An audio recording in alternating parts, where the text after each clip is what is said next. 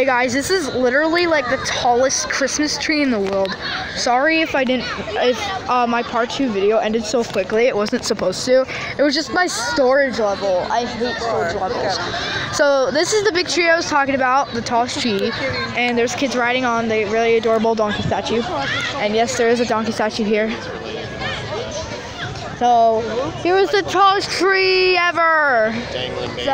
Uh, Thank you guys for watching. I'm just showing you guys this really awesome tree. Oh, look. That's cool. look at that. It actually lights up. That's cool. Look at it. Oh, yeah, I see it. Oh, look at the blue lights. Do you guys see it? Wiggle it so fast. So, yeah, this is like the biggest tree in the whole entire world.